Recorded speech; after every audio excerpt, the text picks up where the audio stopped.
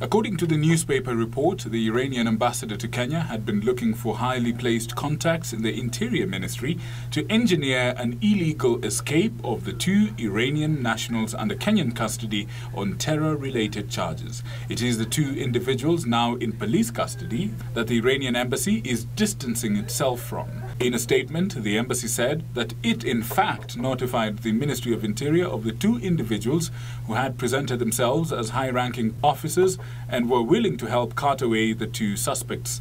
The embassy claims the misleading report is aimed at soiling its good name and painting it as a terrorist sympathizer for unknown reasons.